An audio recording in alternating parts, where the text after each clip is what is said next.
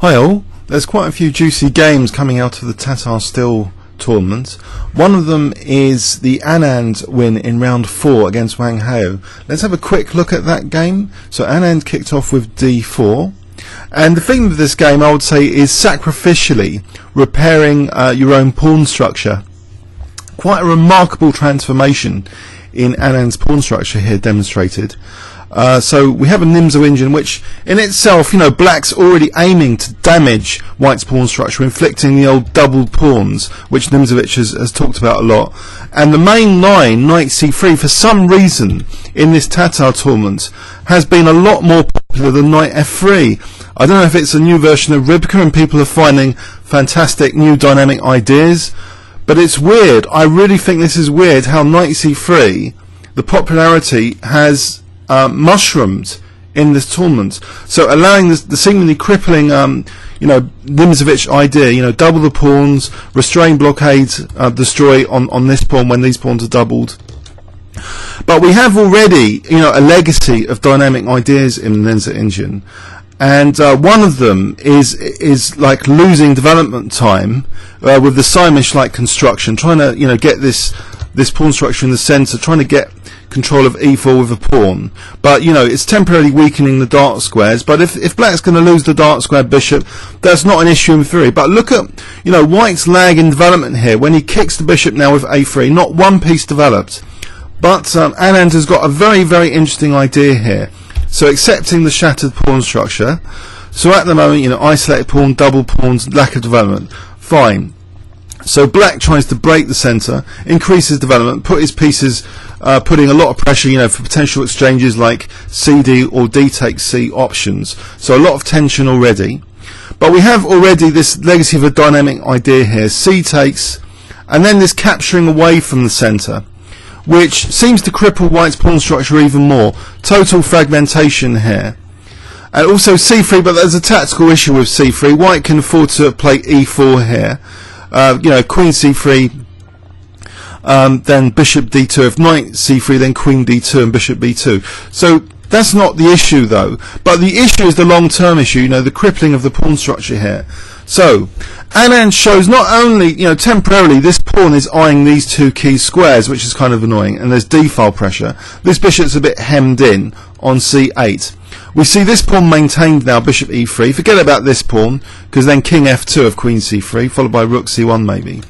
So black castled, and we also see some compensation here in terms of the b and d files actually. The b file, in particular now, is used queen b3. Forget about um, developing these pieces for the moment.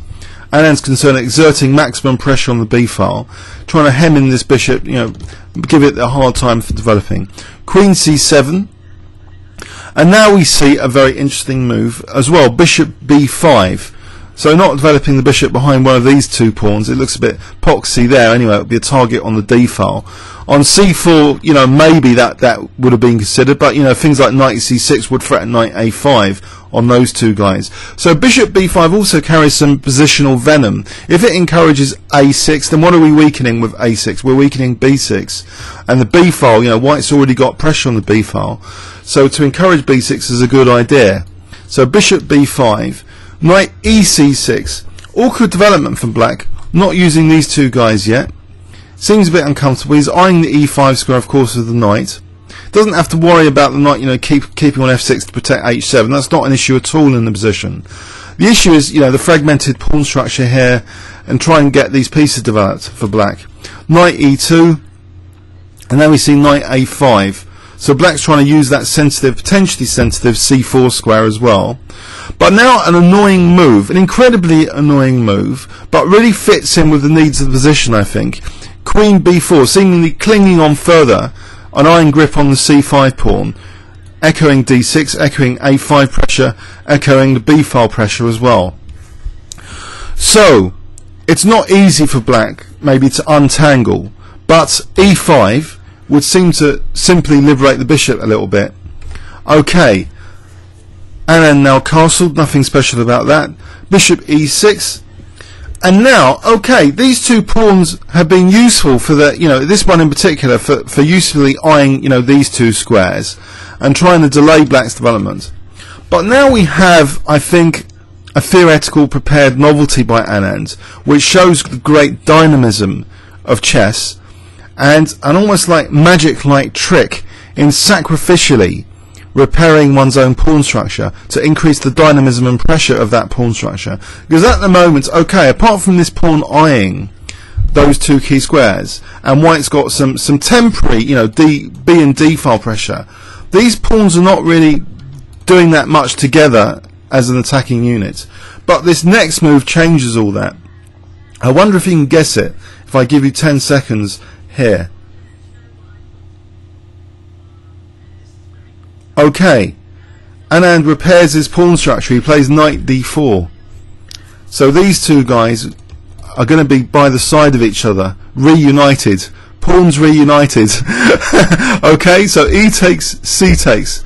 Now, re, as a reunited unit, they're already threatening like things like d5, further cramping this poor bishop, which is already cramped because all these pawns prevent these entry points.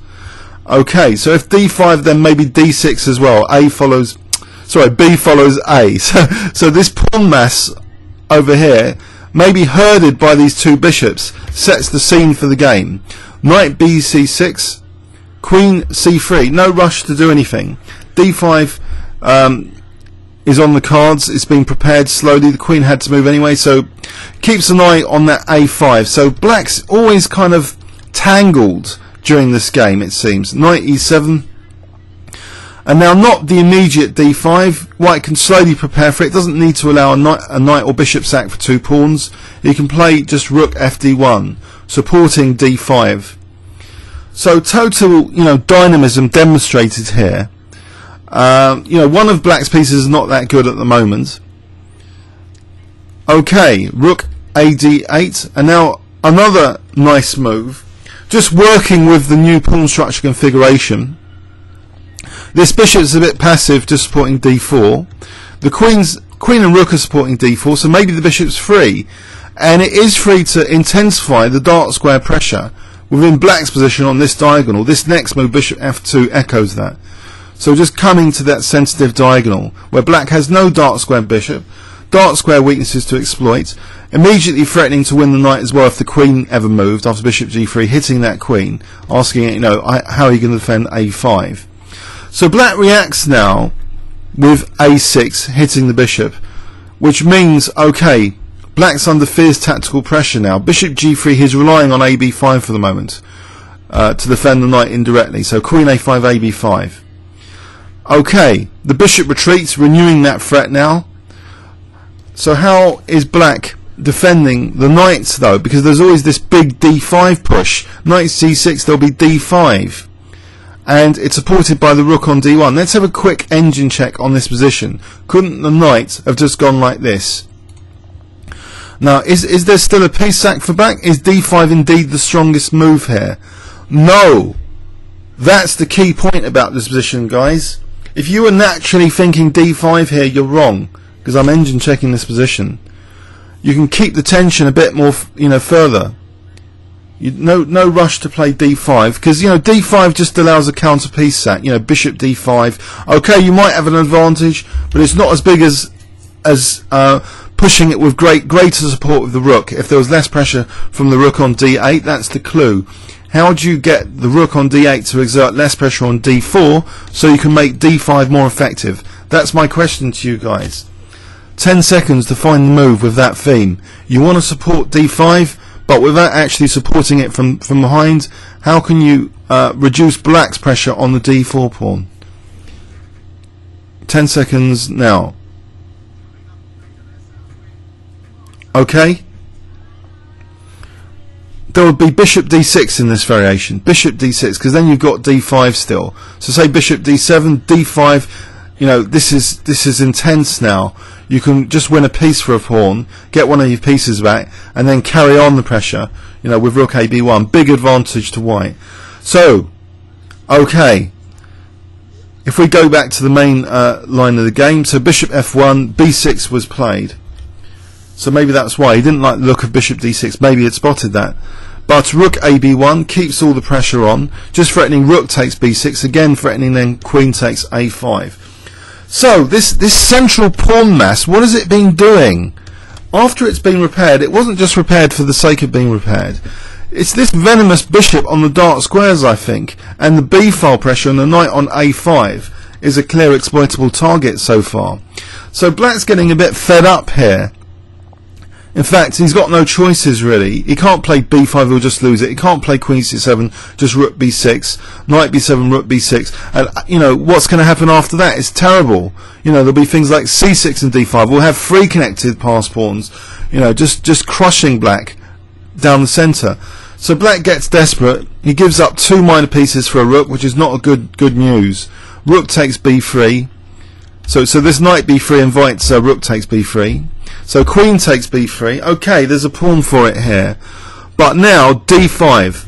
So we've got a different scenario. These two pawns are dangerous, in particular this one. But uh, these two bishops are really nasty now, uh, working together on the light and dark squares. Black plays knight g6 and now queen b6 and a6 is now dropping off. c5 is vulnerable. Black lashes out with f5. Doesn't really help. So another pawn is going and then bishop b5 so keeping an eye on c5 but improving the bishop a bit. Okay, but first before taking on c5 don't want to allow black to play fe with pressure down the f file. Keep that pawn on f3 so e takes f5 is played, hitting the knight, not giving black too many options again. Queen takes f5, and now queen takes c5. So let's evaluate the situation here materially. White has five pawns, three pawns up for the exchange. Pretty nasty stuff. Um, can't obviously play d6 immediately loses queen. He just slowly prepares stuff like d6 or even the a pawn. So rook c8 is played queen d4. Why not support d6 like that? But first, maybe even a4. So rook fd8, and now just a4. And things are looking pretty grim for black. I'm not sure if he lost on time or just resigned, but the position does seem quite dire here. No, no pressure on the f because of that pawn. I think it will take too long to get to the seventh rank. These rooks are never going to really work together. As soon as you start moving this d8 rook, then d6, d7. And these bishops, you know, are, are quite dangerous working together on these two diagonals. So, it's 1 0 here. I think, I assume that black did resign. There's just three pawns to the exchange, and there's really no counterplay here to look forward to. Now that the bishop on a on b5 is supported, let's let's just give an engine line to see a possible continuation from this position. Okay, we know we know white's material up and has got a lot of exciting possibilities, but let's try and put this in concrete. How could the game have continued according to uh, Rybka? Okay, let's say black plays queen f6. We could have bishop c4 threatening d6 check. Okay. Um, now, in, in, in a queen's off scenario, this looks even a simpler job. So a5 now threatens a6 with the bishop supporting it. So a6 so white's able to grow the advantage quite comfortably now. d5 is also supported. Now this bishop could reroute, say, and let's keep. Alright, let's put the rook somewhere. Can we not just put it? Oh, we have to keep the, the no. We have to keep the bishop supported. So rook e4, say. Check. So this kind of position White will be making progress with the A pawn. Say rooks came off. Then again, the A pawn could prove decisive uh, here. A7, because now there's always like bishop F2 to support it, and bishop B5 to C6. So say rook A8, bishop F2. Okay, now okay, the knight can temporarily defend some key squares. Bishop A4. Now in this kind of scenario, so the knight's kind of virtually pinned now because of d6, so it can't move from there. And in fact can be dislodged now. And then here, like d6 would do, uh, just just being a you know piece up. So we see in this example continuation that the a pawn could be decisive. You know, white white's just steadily growing his advantage. This is a bit like the ending I had in Over the Wall game, which I, I chickened out of playing because of the history of the game. But here, you know, this is this was deliberately played for. This, I mean, he's free pawns to the exchange, massive compensation for being the exchange down in the in this final position, where Black, I assume, had had resigned. Uh, so so basically, I think that's the, the key idea. White can, you know, it doesn't matter about the queens coming off. The a pawn is going to play a decisive role here herded by the bishops. I think in a nutshell. Okay, let's let's go over the game again. And so it's a revitalization actually, this tournament as a whole, of the knight c3 move. So we're back to really exciting stuff. You know, maybe people are getting fed up of this Queen's Indian territory, this knight f3. So we see this deliberate fragmentation of pawn structure and f3, deliberate lagging behind the development to force off um, that bishop to get dynamic compensation, deliberately de, you know, f- you know, deliberately fragmenting the pawn structure here, but an entirely new idea, I think, not seen before, or not seen in such a high level tournament, of giving up a whole knight to repair the pawn structure, to restore its dynamism, and to make it hero out the dark square bishop. At the moment, this e pawn is also knocked out on that sensitive diagonal, so knocking out that pawn intensifies the pressure massively when the bishop can occupy that diagonal. So it's a bit like in the French defence Winawer lines that uh, Fischer used to play. You know, you play a3, you encourage the double pawns, then the bishop was getting on that diagonal in the Winawer lines. But here it's not this diagonal, it's this diagonal. So sort of, um, you know, c- complementary dark square diagonal that you'd want to occupy if you had a powerful bishop and the opponent didn't have a powerful bishop. In the French defence Winawer, you know, black's giving up his dark square bishop, with, you know, bishop takes c3, but here, okay, we've got a dark square bishop that black doesn't have. So occupying this diagonal seems like a very logical idea. And trying to steamroll, potentially, but not impatiently, I think that's the key thing. Uh, you know, because there's always, you know, bishop d5, uh, D, bishop d6 and d5, and also this knight to be exploited. There's a few other things in this position to make just the threat of d5 that much more painful. So rook a b1, and black immediately gave up uh, material now because of this painfully uh, placed knight. Okay, so now after after this, you know, the exchange down, but uh, white's advantage. Um, at the moment, it was only for, for two pawns. Six pawns, one, two, three. No, just one pawn here but big threats, you know, this queen b6, you know, a6, this this bishop on f1 and bishop on g3, really really powerful bishops here. So from this position, you know, black starts to lose pawns basically because these two guys are not that uh, that easy to defend. Okay, so he loses one, then he he loses the other, so he's like three pawns uh, down for the exchange, and and in this position, you know, um, was it after Queen takes c5? You know, he, I think he resigned. Okay. Um, hope you enjoyed that. It's a way of dynamically repairing your pawn structure in the Nimzo Indian. So maybe you'd want to consider the the, the, the main line um, Nimzo, the old main line, instead of this Queen's Indian territory as white, and even Sämisch's move, you know, this f3 move uh, to be kick, you know, kicking the bishop with a3 later.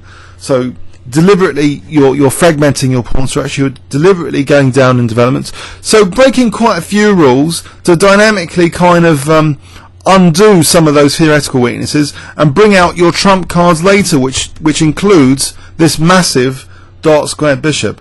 Okay, comments or questions on YouTube. Thanks very much.